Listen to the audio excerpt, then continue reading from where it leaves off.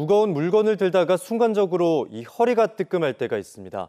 디스크가 튀어나와서 신경을 누르는 만성적인 허리 통증과는 다른 대처가 필요한데요.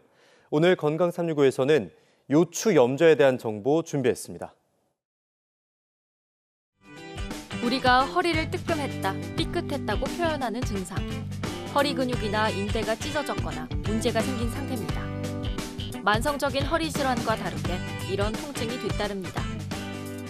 허리 통증을 호소함과 동시에 경직 및 압통이 있고 굴곡과 신전, 축골 회전 등의 관절 가동 범위가 제한되며 엑스레이 검사 시 요추부 만곡의 소실을 확인할 수 있습니다.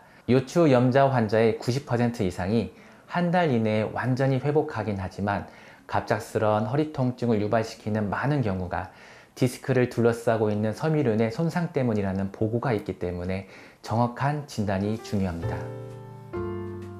꼭 교통사고나 외상 같은 심각한 부상만 원인이 되는 건 아닙니다.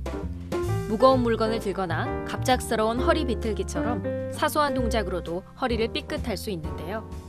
통증과 염증을 가라앉히는 치료법은 뭘까요? 급성기의 가장 중요한 치료는 안정입니다. 초기 48시간 동안 침상 안정을 통해 연부 조직 손상이 진행됨을 막고 통증이 심하다면 진통소염제나 근리환제 같은 약물을 투여할 수 있습니다. 또한 필요에 따라 약침, 신경차단술과 같은 주사요법을 시행할 수 있으며 추나나 도서와 같은 재활 운동 치료도 시행할 수 있습니다.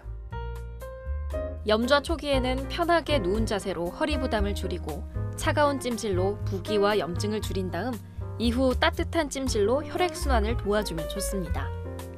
통증이 다 나았다고 무리하게 활동하면 재발하기 쉬워서 일상에서 꾸준히 관리하는 게 중요합니다.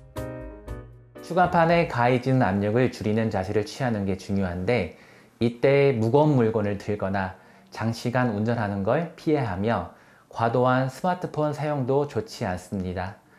평소 30분에서 1시간 정도 보행 운동을 하며 통증이나 다리 저림이 유발되지 않는 선에서 맥켄지 운동법을 시행할 수 있습니다.